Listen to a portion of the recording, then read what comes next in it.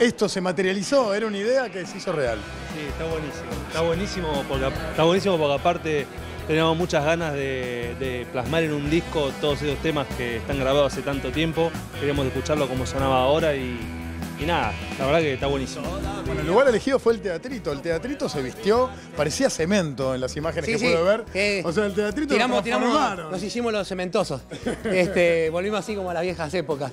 No, la verdad que la, la gente se rebrindó, eh, había- ya estaba agotado dos meses antes. Eso de no creer, de cómo están las cosas, es de no creer, ¿viste? No, pero aparte, ¿viste? Yo primero decía, che, ¿irá alguien? ¿Viste? Los primeros días, ¿y cómo van las entradas? Y todavía están vendiendo entradas, no sé qué, uh, bueno. ¿Viste? Y dice, ¿irá alguien? Se agotó. Rolito. Se agrandaba, ¿viste? El chabón se agrandaba al toque.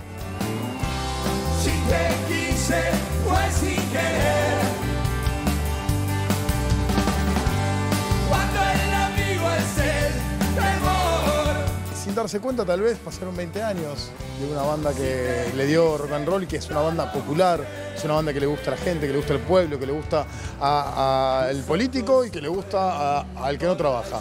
Eh, y de repente ustedes se encontraron con esta celebración sin comprenderla, que tal vez ahora nos permite compartirla con la gente y hasta verla, ¿no? Sí, está buenísimo, la verdad que sí.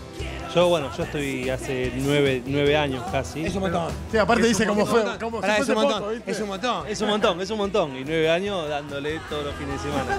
Este, pero sí, la verdad estamos re contentos, no lo podemos creer. Nos encuentra viajando todo el tiempo, tocando en todos los barrios. Muy felices.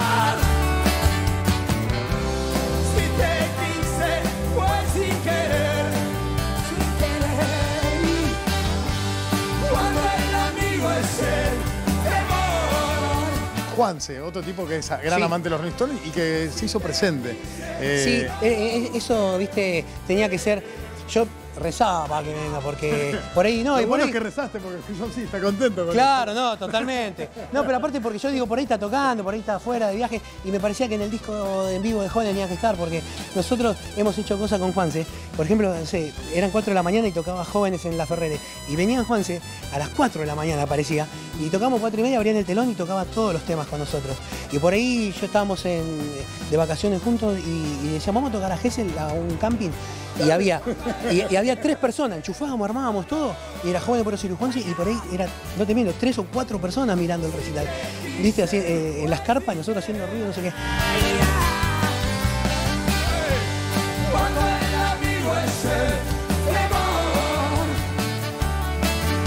Ciro Partuzzi. Ciro también los veo en un momento, aparte con la remera, con la camiseta puesta. Vos de Jauría, vos de. Jauría y él ahí de, lo- de los jóvenes. Aparte también se dio muy natural porque veníamos haciendo, bueno, Espadas y Serpientes de hace muchos años y, y así lo admiramos también hace muchos años. Lo que pasa es que no se hubiese podido dar, no sé si lo dijimos en esta nota o en la anterior, pero viste que hace unos años atrás si mezclabas a un pan con un Stone se pudría todo.